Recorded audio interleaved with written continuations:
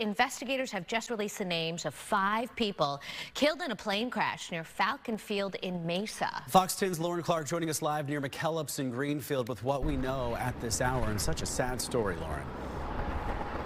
Absolutely. Ty and Anita, this is an absolute tragedy for these families and for this community absolutely heartbreaking. Now, this crash happened yesterday afternoon right here next to Falcon Field in Mesa. We don't know how it happened, but we do know the names of those who lost their lives. We're told five Arizona residents were on board the plane, the pilot, co pilot, and three passengers.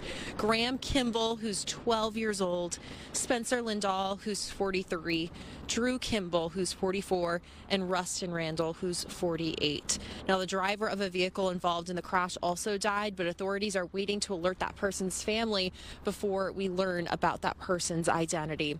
One person on on the plane survived and is currently hospitalized with so burn injuries. The driver of a vehicle involved in the crash also died. Now, at this time, we're working to learn more about those who passed. According to a Mountain View High School class of 1994 Facebook group, Rustin Randall graduated from the Mesa School, and comments were flooding in talking about how much he was loved and admired 30 years later.